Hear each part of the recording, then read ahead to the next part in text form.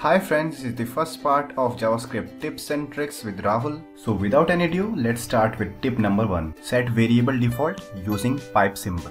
Earlier, to provide a default value to a variable, I first used to check it through a if condition whether that variable has got any value or not. If it hasn't, I used to provide it a default value. As you can see, it is quite cumbersome and inefficient way to do it. So let me show you a better way of doing it. Here this line and the above three line have the same effect.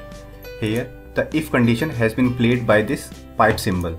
Here it has been checking whether a has any value or it's been undefined. If it has been undefined then a default value is provided to the a variable. Both of the code will have the same effect in the console. So let's comment out the second code and see its effect in the console. Refresh as you can see, the variable is getting the default value. Now let's see the second code. Now let's comment the first code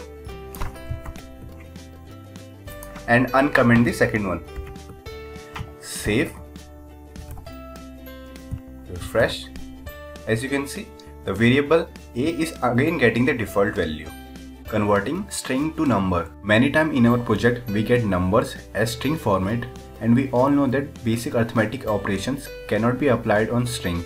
Here the basic addition will not happen.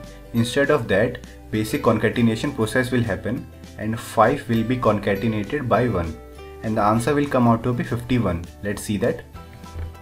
Save. Refresh. As you can see the answer came out to be 51. So we need to change this string to a number. To do that, we just need to add a plus operator in front of string and the string's value will turn into a number. And now the answer will be 6. Let's see that. Refresh. As you can see, the answer came out to be 6.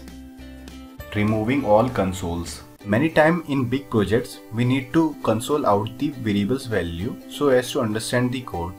So what happens at the end, we end up consoling many variables at different different places and at the completion of the work we need to comment out those consoles. Going back and commenting all those consoles is a very tiring and frustrating process.